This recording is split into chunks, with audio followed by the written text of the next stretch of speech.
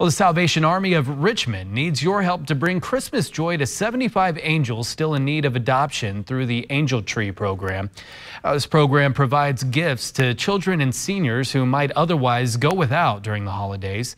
You can adopt an angel by visiting salvationarmyrichmondky.org or shop directly through their Walmart registry. If you've already adopted an angel, don't forget to return gifts by December 13th to their office at 1675 East Main Street. Financial contributions are also welcome through their virtual red kettle. For more details, visit salvationarmyrichmondky.org. And let's make sure that no child gets left behind this Christmas.